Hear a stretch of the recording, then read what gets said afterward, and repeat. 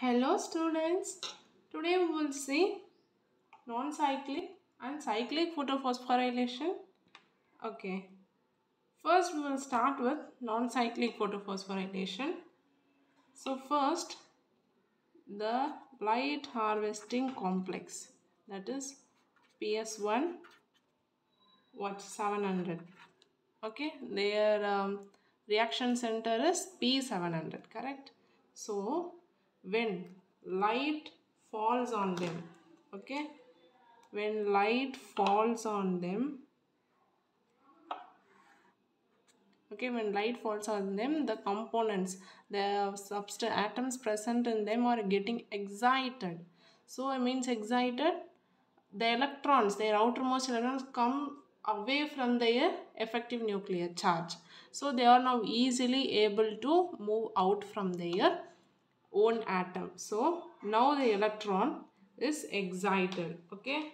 From p700 electron is excited. Then what happens? This electron goes to the primary electron acceptor okay?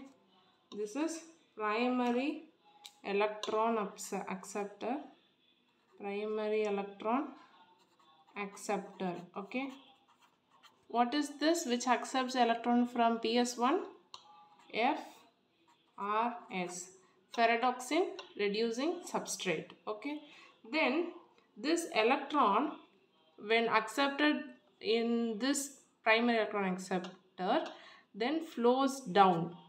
Okay. To ferredoxin okay. Ferredoxin reducing substrate.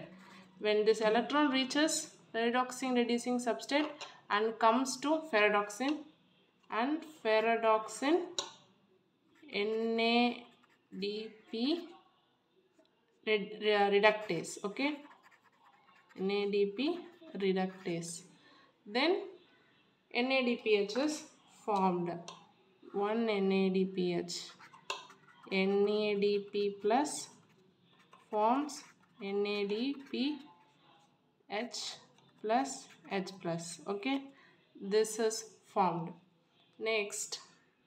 Okay now here electron is lost from PS1 then something hole is created some empty places here.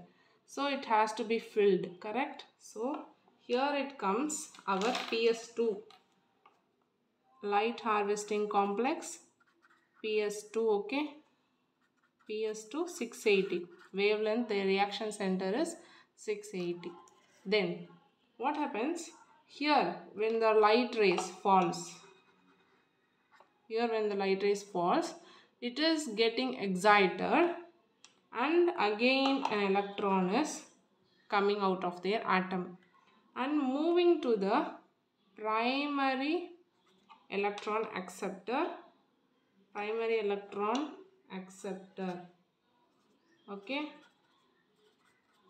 And then it flows to the what? Plasto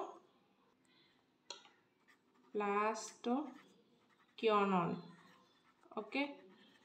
And then cytochrome b6 and f. And then plasto cyanide okay clear? It should be clear now.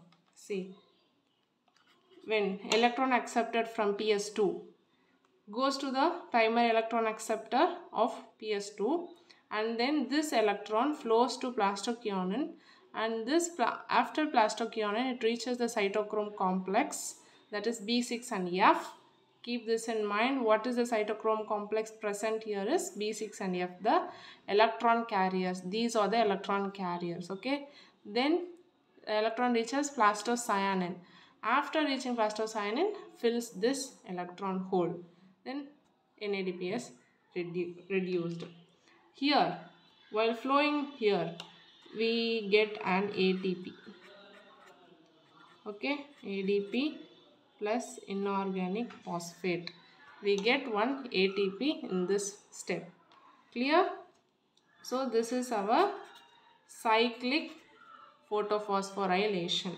Okay now if here the electron is removed then here also a hole is created. It also should be filled no? So that's what this ps2 complex has a special role of splitting of the water okay?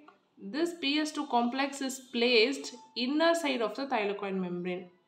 This ps1 is placed outside of the thylakoid membrane. Then ps2 splits the water. Okay clear? See this. Water splits in inner side of the membrane. What happens? 4h plus and O2 and 4E minus. Why I have taken two water molecules means then we will get whole one oxygen molecule clearly. Otherwise we'll half like that. Okay. 4H2 breaks down into 4H plus and one oxygen molecule and four electrons. So this electrons goes over here reaches here here here and coming to form NADPH okay? Clear? So this is non-cyclic photophosphorylation. Now it is cyclic photophosphorylation. Here in cyclic photophosphorylation where it happens means stroma lamellae because in stroma lamellae there is no presence of PS2 only PS1 is present. So this PS1 okay PS1700 when excited okay electron moves correct? Electron moves and reaches the primary electron acceptor. Primary electron acceptor that is FRS ferredoxin reducing substrate. And then reaches ferredoxin okay. And then reaches ferredoxin then comes to plastoquinone. Plastoquinone. Okay. And then reaches cytochrome complex B6 and F. Then comes to plastocyanin okay? Plastocyanin and again reaches back. See this path? I am writing the electron path. I am drawing here. Okay? This is cyclic. See where it starts it comes and ends over here. So electron excitation. This electron reaches PS that is a primary electron acceptor and flows to ferredoxin ferredoxin moves that electron to plastoquinone cytochrome b6f and plastocyanin. Okay these are the electron carriers as we know. While reaching this cytochrome complex we get an ATP okay